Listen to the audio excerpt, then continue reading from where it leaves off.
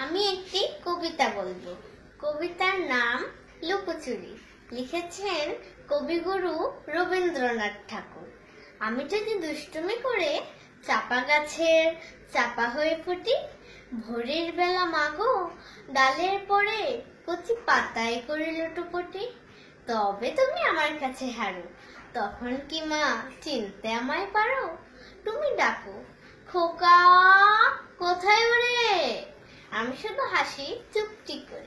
যখন তুমি থাকবে যে কাজ নিয়ে, সবই আমি দেখব নয়ন মিলে। স্নানটি করে? চাপার তলা দিয়ে। আসবে তুমি পিঠেতে চুল ফেলে। এখান দিয়ে পুজোর ঘরে যাবে। দূরের থেকে ফুলের গন্ধ পাবে।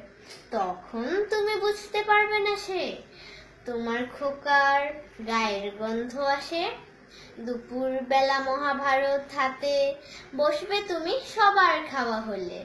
গাছের ছায়া ঘরের জানালাতে পড়বে এসে তোমার পিঠে কোলে। আমি আমার ছোট্ট ছায়াখানি দোলাবো তোর বইয়ের পরে আনি। তখন তুমি বুঝতে পারবে না সে। তোমার চোখে খোকার ছায়া ভাসে সন্ধেবেলায় প্রদীপ খানি জেলে যখন তুমি যাবে গোয়াল ঘরে, আমি তখন ফুলের খেলা খেলে টুক করে মা পড়ব ভুয়ে ঝরে। আবার আমি তোমার খোকা হব। গল্প বলো, তোমায় গিয়ে কব। তুমি বলবে, দুষ্টু, ছিলি কথা? আমি বলব বলব না সে কথা। ধন্যবাদ।